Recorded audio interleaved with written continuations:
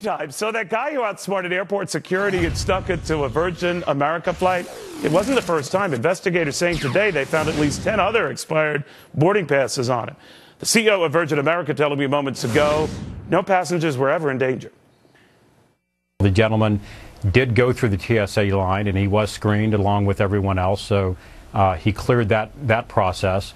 The aircraft is a sterile uh, aircraft that we search the aircraft every morning. So, you know, there are other levels of redundancy that the public doesn't necessarily know about uh, that basically made sure that that was a safe flight. So, while there are a couple of them that were very visible to the public, uh, you know, there were others that were not so visible that were in effect. So, I, I would say that the flight was a safe flight and the system worked. Well, it might have been sterile. It didn't mean it didn't stink. The TSA also says that it thoroughly screened the man. Apparently, they just failed to smell the dude because he apparently reeked. He smelled so bad, he created a ruckus on the plane. A lot of people are saying, hey, get this guy.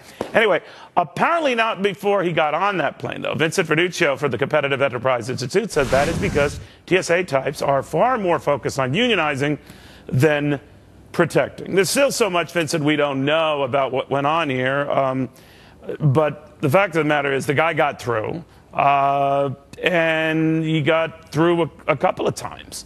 Uh, you say that's because TSA agents are distracted, or what?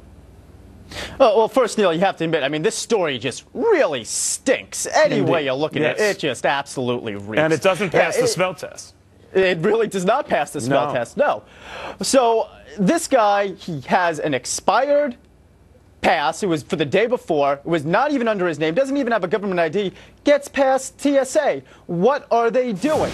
Well, it looks like they're probably more concerned about um, this union organization election that just went on, which, by the way, only a quarter a quarter of the 40,000 TSA workers voted to join AFSCME, the new union. And guess what?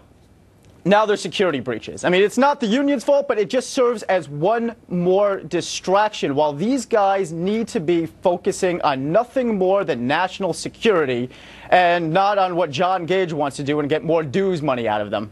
All right, let's say they were to unionize, though. Once they get past the hump of organizing, and they are organized, then everything should presumably be back to normal, and they're policing this. You say that would be in question once they're unionized because of all the restrictions and the limitations that unions put on management, or what?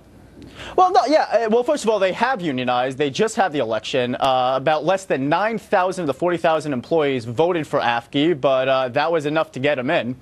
And well, I, I was now, told that that's not necessarily definite, though. That doesn't mean that all of them are. You're saying that by the results of that vote, all of them will be?